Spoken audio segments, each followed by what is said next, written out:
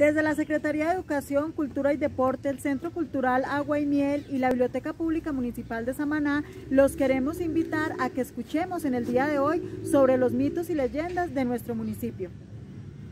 Y para entrar en materia, en el día de hoy tenemos como invitado al señor José Alirio López. Bueno, mi nombre es José Alirio López. Nací el 30 de julio de 1939. Eh, y pasé pues eh, la mayor parte de mi vida en, la vereda de California.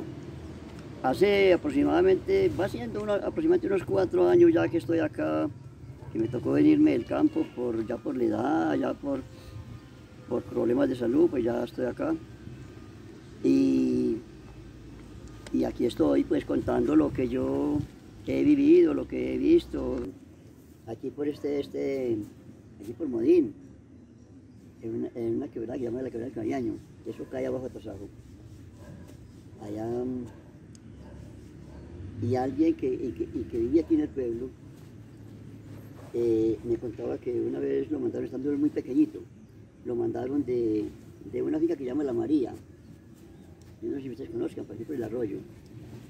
Mm, lo mandaron por una leche acá, al, acá a Modín pues no está muy lejos de, donde él tenía que venir. Y, cuando iba pasando la quebrada, miró hacia a la parte de arriba, cuando vio una mujer de toda desgreñada, con ese pelo hacia adelante todo y, mal vestida, con un niño en la mano subiéndose por, por, por esas cañas arriba, por, la quebrada arriba. Él le dio mucho susto y él salió corriendo y, y cuando volvía pues con mucho miedo y para ahí no había nada, por ahí. No, ahí no se sabe que eso si era pues lo que llaman patasola o madremonte o no sé qué, en todo caso, ¿qué estaba haciendo por ahí la mujer con ese niño por ahí? Con ese niño por, las por la quebrada arriba frente al monte. Cuenta que una, una ocasión que un señor se vivía pues en una parte, ¿cierto? Con la familia. Y eso, escuchaban ruidos, tumbaban platos, una cosa y otra, se levantaban y, y todo estaba en el, en el sitio. Entonces hasta que dijeron, no, no, no, hasta aquí no vive nadie, esto, esto a tocar niños de aquí. Bueno, eh, se corotearon. Y para, de pronto para una parte, algo cerca, pero pues, sí, desculpan la casa. Cuando dice la señora, ay, Hugo, nos quedó el estéreo en el corredor. Y, cuando ella dijo así, le contestaron, aquí la llevo. Y era la, el, la, la, la, el, el espanto ese. ¿Le contestó el espanto? Sí, sí, sí. bueno, eso siempre lo siguieron asustando. Entonces, dicen que el señor fue donde el padre, no sé, ya aquí o donde sería, en todo caso, pues, no sé, eh, donde el párroco y le, contó eso, y dijo, eso es un ente. Consígase un tipo, lo hace temple. Si usted no sabe, lo, le dicen a alguien que sepa y lo que lo tiemple bien templadito, lo deje en la mesa del corredor así en la mesa. Bueno, el Señor hizo, hizo eso, lo, lo que Padre le dijo. Cuando estaban ya acostados, cuando sintieron que alguien cogió el tipi y se puso a sonarlo, a sonarlo. Y de pronto sintieron cuando lo estortilló en un estantillo. Ese sí quedó vuelto pedazo. Y la cosa se perdió, no volvió, no volvió a asustar más. Bueno, es ahí. La gente comenta, pues dice que lo que pasa es que son espíritus, espíritus que quedaron en el aire. Dice, pues, eh, eh, yo tampoco, pues, yo digo lo que me cuentan a mí, es cierto. claro. Cuando el ángel San Miguel eh, derrotó a Satanás del cielo, que en ese entonces no era Luz sino Luz Bella, que llamaba el ángel que más quería Dios, salieron detrás de él como eh, salieron detrás de él como salieron, como salieron de la iglesia católica muchos, muchos, muchos, muchos eh, personas eh, de la religión católica, tras de Martín Lutero, ¿cierto? Que él retiró la tercera parte. Eso mismo hizo Lucifer del cielo. Y cuando él salió de edad, salieron muchos detrás. Y cuando ya dijo detente, quedaron muchos en el aire. A veces yo creo eso, le voy a decir por qué. ¿Por qué razón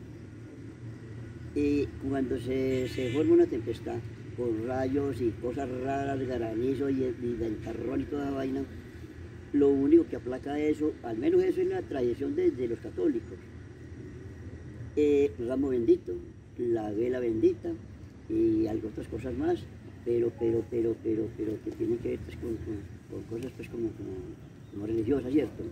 Y la, y, la, y la tempestad se aplaca. Yo les voy a contar algo que, que yo lo he hecho personalmente y lo cuento por eso, porque es experiencia mía. Alguna vez en mi casa, y yo, yo vivía aquí para el lado de California, bueno, eh, teníamos gente en la casa y se llegó a altas horas de la noche y, y entonces ya me dijo la señora, oiga, y no hemos rezado. Y yo, no, ya a esta hora que vamos a ya a las 11 de la noche, yo estoy caído de sueño. Cada uno recemos lo que, lo que sabemos y nos acostamos. Eso la Virgen nos perdona por esta noche. Acostamos. Por, no habían pasado dos horas, estábamos dormidos, sí. Cuando se forma una tempestad, pero tenaz, eso nos tiraba agua para adentro, nos tiraba granizo, eso era una cosa aterradora. Ahí sí se espantó el sueño. Nos sentamos, cogimos la camándula y a rezar. Y le voy a decir, no llevamos dos casitas todavía y la tempestad se... Exceso. Entonces, pues no sé. Igualmente sucedió, no, y en varias ocasiones ocurrió eso. Otra, otra vez, mmm, un hijo mío vivía o vive a una cuadra de, la casa mía aquí en la finca, en California. Y eran las 12 de la noche, cuando sentíamos que conversaba alguien así afuera en el corredor. Eh, desperté cuando yo veí luz, luz. Habían prendido la luz, para como hay bombillos en el corredor, y entonces prendieron la luz, y adentro de la alcoba yo veía luz. Y yo, pero que no hay por allá son las 12. Y como está lloviendo de duro, entonces, y con, y con tempestad. Entonces yo salí y abrí la puerta cuando era mi hijo con la familia, Panamá. Y yo, mío, por Dios, ¿qué pasó? Y yo, no papá, se vino una avalancha de arriba del pedestal y eso se metió adentro y nos inundó la casita y eso está vuelto loco. Nos tocó corriendo. Y yo, bueno, el remedio es este. Cogí la camándula, nos pusimos a rezar. Y yo, acompáñenme con mucha devoción. Y no se aguantó la tempestad hasta que terminamos. Cuando terminamos ya estaba todo calmadito. Yo, a mí me gusta mucho contar lo que yo he vivido, porque yo lo cuento por experiencia propia, ¿cierto? Lo que, lo que me contaron a mí, bueno, eso no puedo, yo no puedo decir si es verdad o es mentira, en todo caso, eso son cosas que le cuentan a uno, no sé. Es una, es una buena es, algo muy importante lo que usted acaba de decir, porque, porque anteriormente, y hasta uno cometía esos errores, al niño no se le puede meter miedo, nunca, nunca, hombre, por Dios. Vea, el niño se levanta miedoso, yo me levanté miedosísimo, no me da pena decirlo, yo me, orinaba en la cama porque me daba miedo salir afuera, me daba mucho miedo. ¿Y por qué? Por esa razón. Que si uno saca este, si ese señor está callado, lo vaya del chucho, que no sé qué, que esto lo otro. No, no, lo que yo, lo que yo estoy escribiendo son, son, son trovas que yo mismo las, las, compongo. Eh, pues de pronto eh, me falta un poquito, porque es que yo escribo y me toca ponerme a estudiar las de memoria, porque si no, a mí se me olvida lo que escribí.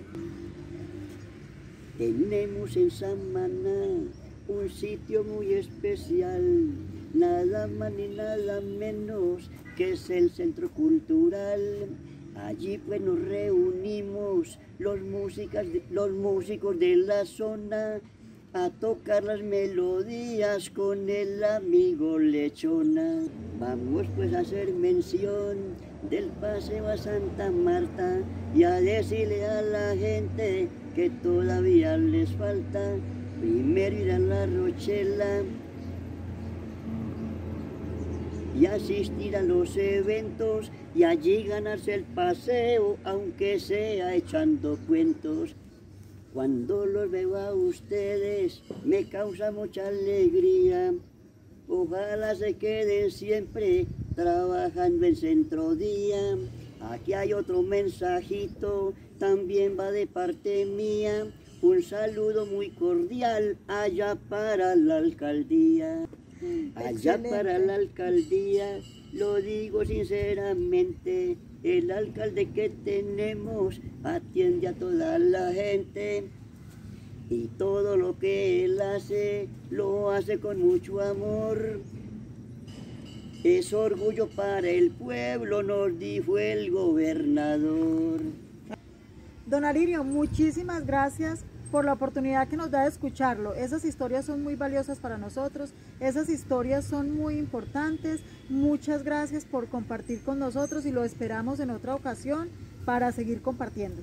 Ah, bueno, muchas gracias a ustedes también por la invitación. De verdad que lo que eh, ha sido con, mucho cariño, con mucho gusto que, he venido a compartir este, este momento con ustedes y a contarles lo que yo sé.